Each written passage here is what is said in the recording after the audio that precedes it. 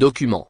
Mariage de Meghan et Harry découvrez la traduction complète des 13 minutes du serment du. Nous venons d'entendre le cantique de Salomon, Mets-moi comme un sceau sur ton cœur, comme un cachet sur ton bras, l'amour est fort comme la mort et la jalousie est inflexible comme les enfers. Leurs embrasements sont des embrasements de feu et une flamme de l'éternel. Beaucoup d'eau ne pourrait éteindre cet amour-là et les fleuves, même, ne pourraient pas le noyer. Martin Luther King a dit un jour, nous devons découvrir les pouvoirs de l'amour et ses pouvoirs de rédemption. Lorsque nous découvrirons ce pouvoir, nous pourrons transformer ce monde pour en faire un nouveau. Un monde d'amour car l'amour est la seule voie. L'amour est plein de pouvoir, ne sous-estimez pas le pouvoir de l'amour. Ne soyez pas trop sentimental non plus. Oui, il y a du pouvoir dans l'amour. Si vous ne me croyez pas, pensez à la première fois où vous êtes tombés amoureux. Le monde entier est centré autour de vous et de votre bien-aimé. Du moins, vous en aviez l'impression. Il y a donc un véritable pouvoir de l'amour.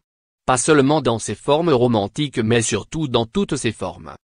Lorsqu'on sait que l'on est aimé, lorsque quelqu'un a de l'affection pour vous et que vous le savez, lorsqu'on est amoureux, lorsqu'on montre son amour, on se sent bien. Il y a ce petit quelque chose qui nous fait nous sentir bien. Il y a une bonne raison derrière tout ça. Tout cela est lié à la source de l'amour. Nous avons été créés par le pouvoir de l'amour. Nos vies doivent être menées en raison de cet amour. Voilà pourquoi nous sommes présents ici aujourd'hui. Finalement, la source de l'amour, c'est Dieu, lui-même.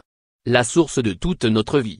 Un vieux poème médiéval dit que lorsque l'on trouve le véritable amour, c'est Dieu qui est derrière cet amour. Dans le Testament, il est écrit, Aimons-nous les uns les autres car l'amour est Dieu et ceux qui sont amour sont les fils de Dieu. Ceux qui n'ont pas d'amour ne connaissent pas Dieu car Dieu est amour. Il y a du pouvoir dans l'amour. Le pouvoir de soigner, le pouvoir de libérer, un pouvoir unique. Il y a pouvoir dans l'amour. Le pouvoir de nous montrer la voie.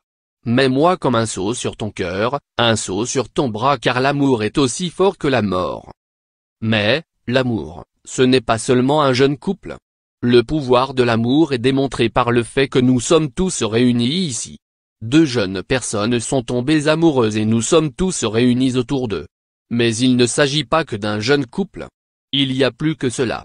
À une occasion, Jésus devait résumer l'essence des leçons de Moïse. Il a utilisé les écrits hébreux et il a dit qu'il fallait aimer Dieu avec tout son cœur, toute son âme, tout son esprit, toute sa force. Voilà le premier commandement, le deuxième est le suivant, aimez votre voisin comme vous vous aimez vous-même. Et ensuite, sur la base de ces deux commandements, l'amour de Dieu et l'amour de votre voisin, sur cette base dépendent tous les autres commandements, toutes les autres lois, tout ce qui a été dit par les prophètes, tout ce qui a été dit dans la Bible, tout ce que Dieu a voulu dire au monde. Aimez Dieu, aimez vos voisins et aimez-vous vous-même. Quelqu'un a dit un jour que Jésus a commencé le mouvement le plus révolutionnaire de l'histoire.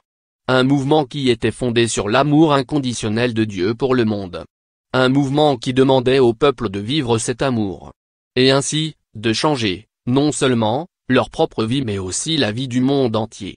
Voilà le vrai pouvoir de l'amour, le pouvoir de changer le monde entier.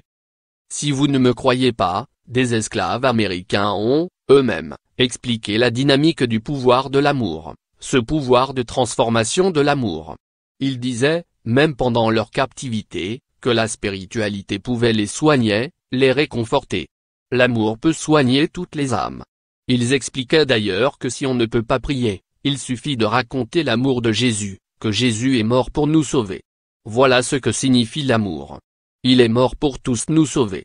Il n'est pas mort pour se sauver lui-même. Jésus n'a pas reçu de doctorat pour sa mort. Il n'a reçu aucun honneur, il s'est sacrifié pour le bien des autres, pour le bien du monde, pour nous. Voilà ce qu'est l'amour, l'amour n'est pas égoïste. L'amour, c'est aussi sacrificiel et ainsi, l'amour peut être rédemption.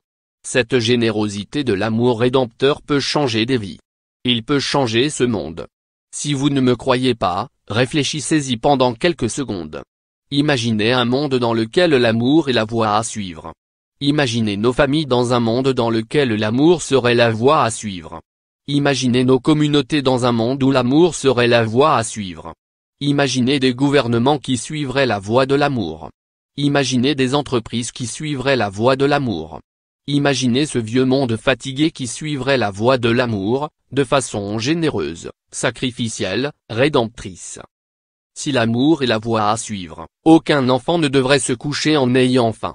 Si nous suivions la voie de l'amour, on ne laisserait pas tomber la justice. Si l'amour était la voie à suivre, la pauvreté serait une chose du passé. La terre serait un sanctuaire. Si l'amour était la voie à suivre, nous poserions nos armes pour comprendre le monde et arrêter de faire la guerre. Si l'amour est la voie à suivre, il y a beaucoup de bonnes choses à faire. Car si l'amour est la voie à suivre, nous pouvons nous traiter les uns les autres de la meilleure des façons comme si nous étions une famille.